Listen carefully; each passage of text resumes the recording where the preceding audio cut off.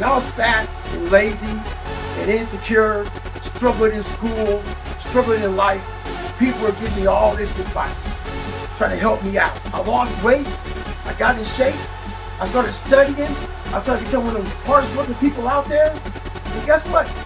They still had shit to say. They had shit to say when I was fat. They had shit to say when I lost weight. People don't want to see you better than them. There's enough food and pie for everybody to eat. Don't hate a motherfucker because he works harder than you. Stay hard.